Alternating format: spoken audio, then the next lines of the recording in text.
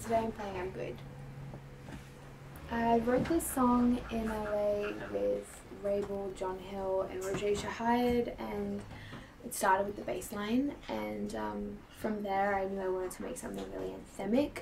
I wanted to write essentially a breakup song that I could use after I like when I would need it, like the the breakup song I'd want to hear to tell me that I was fine. I've learned a lot from traveling overseas. I think playing these shows made me really want to create things that'd be fun on stage as well.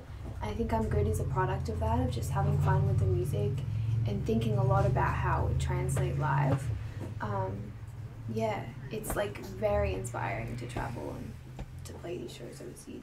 I think the live shows have changed to just be a lot more fun and energetic, even like dancey in some points. Um, just because like I've been writing a lot more upbeat stuff. So yeah, I think that's been the biggest change.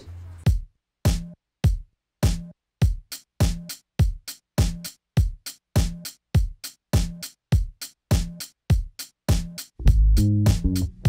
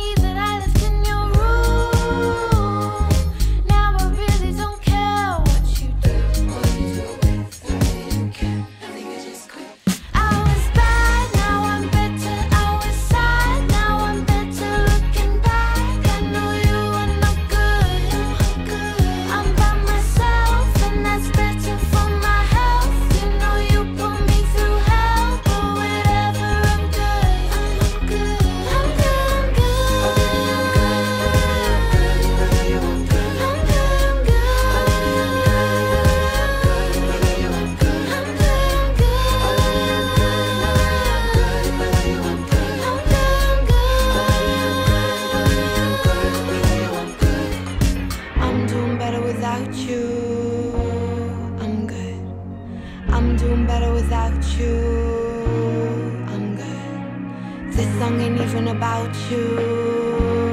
I'm good. Cause I'm doing better you.